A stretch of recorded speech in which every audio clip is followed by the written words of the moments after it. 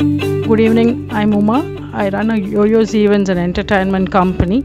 It was a great pleasure to be a part of this team and it accommodated me in uh, all aspects.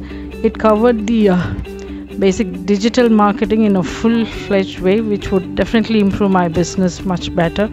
And a great thanks to the coordinator and the, and the entire team. Thank you so much.